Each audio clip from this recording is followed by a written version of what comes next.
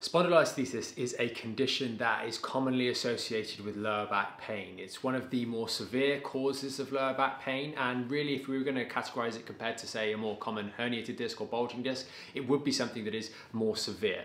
And to understand it a little bit more, we want to understand what it actually is. Well, it refers to the slippage of one vertebral block over the other.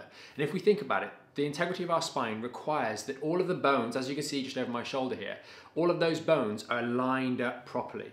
And that allows force to transmit down and up the spine. If, however, those bones slide forwards or backwards, this is when a spondylolisthesis occurs, and it should not do this, which is why it's more severe in terms of the diagnosis, if you will.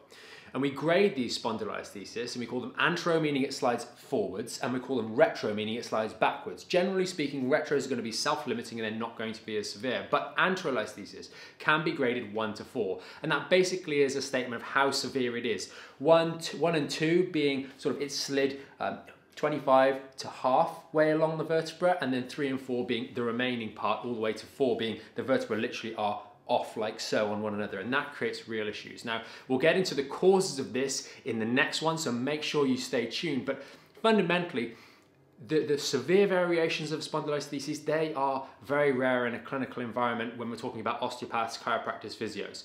Those more severe variations, you're going to be going straight into A&E or something like that. They may be associated with a car accident, some sort of trauma that's happened, which has, has really impacted your body in a significant way. We have to understand that our bodies are miraculous. They're very, very durable. They're very, very strong.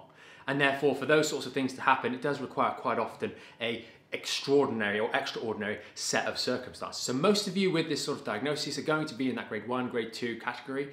And then in the next video, we're gonna talk a little bit about how that comes about. Because although it is, as I said, more serious, there are some really positive silver linings we can take from this diagnosis fundamentally because nine times out of 10, you had that diagnosis of a spondylolisthesis long before you had back pain, which is really important. We'll pick up on that in future videos.